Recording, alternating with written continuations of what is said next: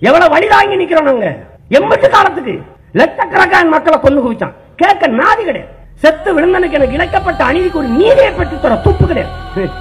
இதெல்லாம் நாதியற்று போனோமா நாங்க? நாதியற்று ஒரு நாள் என் தமிழ் மீது என் தாயின் மீது என் தலைவன் மீது சத்தியம் விட்டு சொல்றேன்.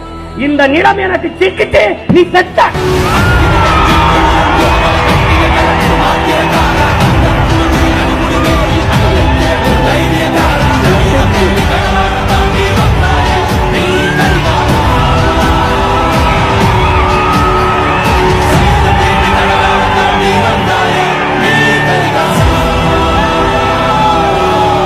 நீங்க வரலாற்றிலேயே இப்பதான் ஒருத்தனை சந்திக்கிறீங்க நீங்க. வரலாற்றுல. என்னை ஒண்ணும் செய்ய முடியாது.